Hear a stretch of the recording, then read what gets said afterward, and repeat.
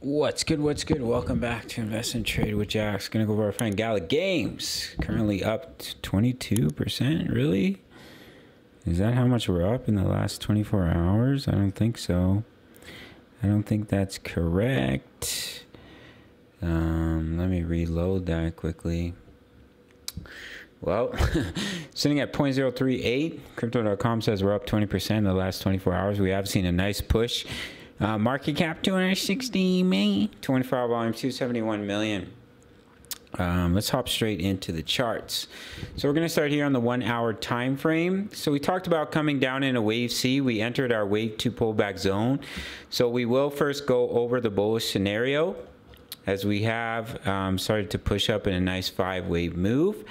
So there's two scenarios. I'm going to quickly remove this yellow wave count. The bullish scenario is the wave C is complete and the wave two is in and now we begin to push up in a wave three. So we have a nice five wave move off the low, one, two, three, four, push up in a wave five. So if we could hold a wave two pullback and see continuation and break that wave five high, then there's a very strong possibility that the wave two low is in for Gala Games and we'll start to push up in a massive wave three. Now, I found a bearish wave count because I was looking for one just in case we see a lower low. And um, this wave sees a five wave move.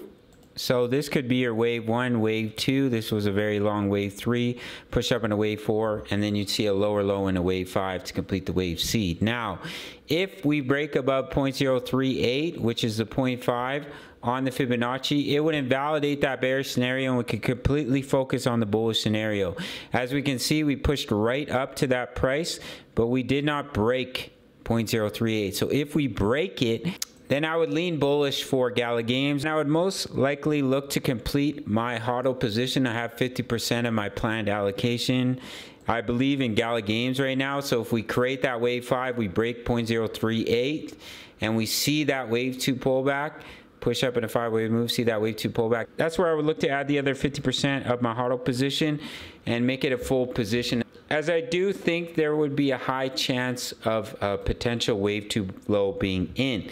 Now, if we do fail to break above 0.038, and let's say we start to roll over from here, then the support you would need to watch as we have created a five wave move. If we did pull back from here, then you look for that wave to pull back. So if we were able to hold all the way down to the 0.786, let me remove this fib so everything is more visible. Let me get this price target.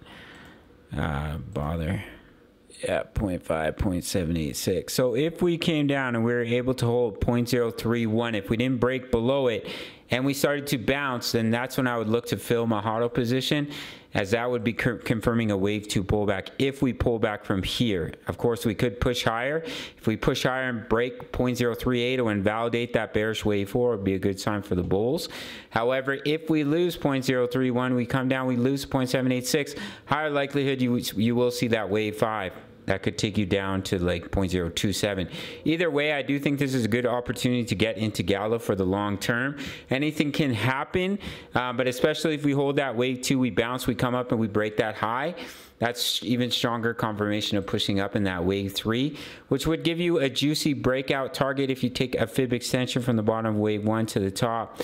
And if this were to be the wave two low, a juicy, juicy price target of about 26 cents.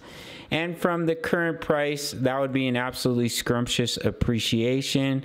Let's go from the current price of 637%, and from the wave two low, uh, about 718%. I would love to see it. One of my largest positions is Gala Games, and I would love to add um, the rest of my planned allocation and ride it up for that wave three. Hopefully we see that we are pushing back up into the EMA, so just keep that in mind. If we do roll over and create a lower low, I think it would be the last low of this wave two, and we'd push up in that wave three anyways.